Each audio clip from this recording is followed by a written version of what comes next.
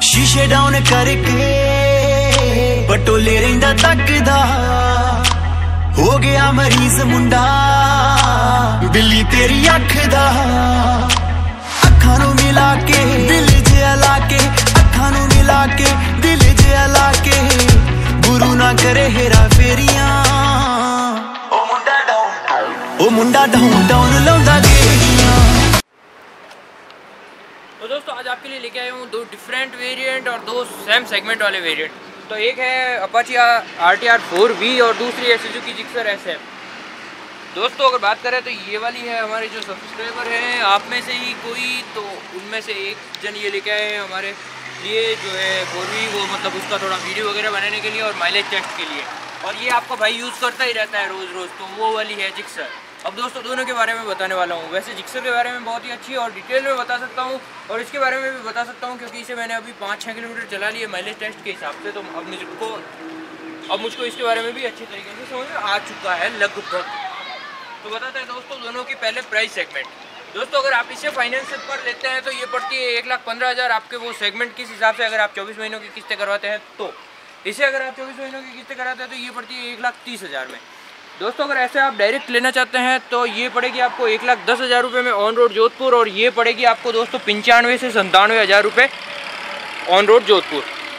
अब दोस्तों, अगर दोनों की बात करें इंजन सेगमेंट की तो दोनों ही इंजन सेगमेंट में थोड़ा थोड़ा सा डिफरेंस है। इसमें मिलता है आपको Apache R T R four V में 160 सीसी का इंजन है 16.5 की bhp बात करें अगर जिक्सर के इंजन के तो जिक्सर के इंजन में मिल जाती है दोस्तों आपको 155 सीसी का इंजन और 14.8 की bhp दोनों ही bhp में डिफरेंस है और सीसी में भी डिफरेंस है। अगर बात करें पिकअप की तो इस हिसाब से पिकअप ज़्यादा आएगा Apache R T R four V का और जिक्सर का थोड़ा सा कम रहेगा। दोस्तों अब सीधी सीधी सी बात करूँ तो इसमें मेरे को डिफरेंस ये लगा है कि जिक्सर रोज़ चलाता हूँ और इसका कंफर्ट मुझे ये बीट नहीं कर पाएगी उसको क्योंकि ये मुझे थोड़ी सी आ, कह सकते हैं रफ़ और हार्ड ड्राइव के लिए लग रही है और जो जिक्सर है वो स्मूथ है। अब वो मेरे हिसाब से होगी अब मैं रोज़ चलाता हूँ, इस हिसाब से मेरे को डिफरेंस आ रहा होगा तो वो बात हो सकती है। दोस्तों, अब दोनों की बात करें पीलियन सीट की तो पीलियन सीट के मुकाबले में देखा जाए तो जिक्सर इसमें हार जाती है, क्योंकि इसकी जो पीलियन सीट है, वो ज़्यादा छोटी है और उसमें सेकंड फॉल्ट ये आता है दोस्तों कि इसकी हाइट ज़्यादा होने की वजह से इसमें आप जो पीलियन राइडर होता है, उसे डर भी लगता है और उतना कंफर्ट नहीं हो पाता है। इसमें बात करें तो इसकी जो सीटिंग अरेंजमेंट है, वो एक इस हिसाब से थोड़ी सी बड़ी है और यहाँ पर जो इसका कर्वनेस दे रखी है और जो नीचे जाने वाली बात है, वो जिक्सर में ज़्यादा होने की वजह से ये वाली ज़्यादा कंफर्टेबल है। और पीछे वाले राइडर के लिए नीचे होने की वजह से भी अच्छी है। दूसरी बात करूँ अगर दोस्तों मैन तो ये है लेडीज़ के लिए बेस्ट क्योंकि इसमें जो ये फुट पैड है, ये दिया हुआ आता है बट जिक्सर में ऐसा कुछ नहीं है। और बाहर से अगर आप लगवाना भी चाहते हैं तो उसके लिए आपको इतना कुछ मिलता नहीं है फ्रेम के, आप लगवा सकते हैं। दोस्तों, अगर ब्रेकिंग सिस्टम की बात करें तो दोनों में मिलता है आपको डबल ड्रेस ब्रेक सिस्टम और दोस्तों, इसमें भी आपको मिलती है डिस्क ब्रेक और जिक्सर में भी मिलती है डिस्क ब्रेक बट जिक्सर की डिस्क ब्रेक राउंड दे रखी है, इसमें कोई भी कट वट नहीं मिल रहा है आपको। और दोनों की साइज़ अगर देखें तो आरटीआर के मुकाबले में थोड़ी सी ज़्यादा है। अब दोस्तों, अगर बात करें इसके सेफ्टी गार्ड की तो आरटीआर में आपको ये मिलता है कि इंजन को सेफ़ करने वाला गार्ड जो कि मजबूती अच्छी दे रखी है और ये आपके इंजन को सेव करता है अगर आप गिर जाते हैं। तो बट मेरी जिक्सर में ऐसा कुछ भी नहीं है दोस्तों। मेरे पास ये गार्ड है, ये गार्ड कुछ नहीं उखाड़ सकता नीचे गिरने के बाद। ये डैमेज होगा। और बहुत ही अच्छा वाला डैमेज होगा और पैसे भी बहुत लगेंगे। अब बात करें अगर दोस्तों दोनों की इंस्ट्रूमेंट कस्टर की तो इंस्ट्रूमेंट कस्टर में अगर आप आरटीआर का इंस्ट्रूमेंट कस्टर देखते हैं तो इसकी जो डिस्प्ले है वो आपको थोड़ी सी बड़ी लगती है।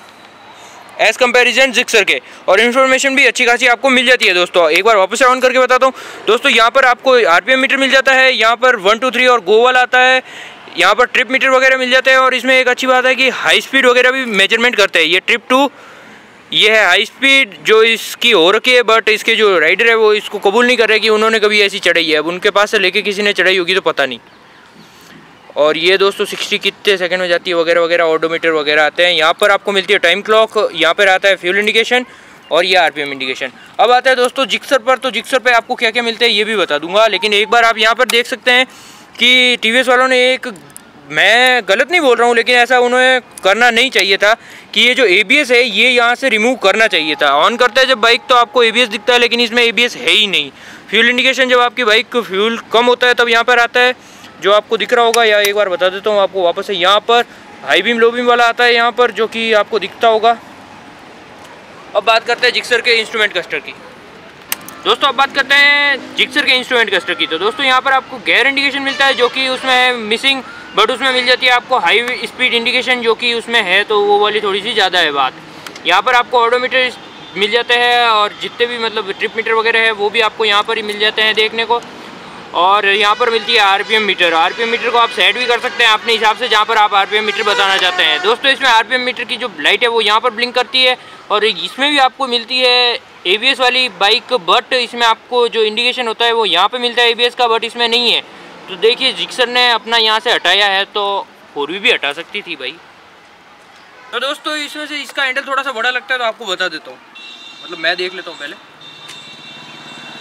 तो दोस्तों, इस टाइप का मिल रहा है। अब इसमें देखते हैं।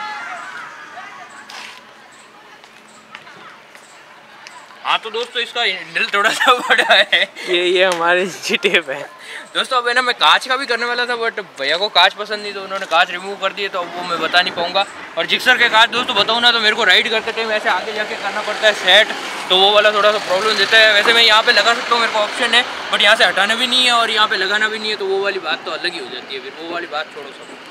अब बात करें दोस्तों दोनों के फ्यूल टैंक की तो फ्यूल टैंक दोस्तों आपको जो आरटीआर है उसमें थोड़ा सा ज़्यादा अट्रैक्टिव देखने को मिलता है। एक तो साइड में मिल जाता है रेसिंग बाइक्स में इस टाइप से आता है फ्यूल टैंक बट इसमें जो आपको टैंक मिलता है, ये मिलता है नॉर्मल बीच में और यहाँ पर ये जो दे रखा है दोस्तों, ये दोनों आपके पैर जो होते हैं, वो इसके नीचे चले जाते हैं और वो विंड ब्लास्ट को कम करने वाली जो भी है, वो वो वाली बात है। आई होप दोस्तों ये वीडियो आपको पसंद आया होगा। अगर अच्छा लगा तो इसे लाइक कर देना शेयर कर देना और सब्सक्राइब कर देना चैनल को और बेल आइकन को भी प्रेस कर देना जिससे कि मिल सके लेटेस्ट नोटिफिकेशन सबसे पहले।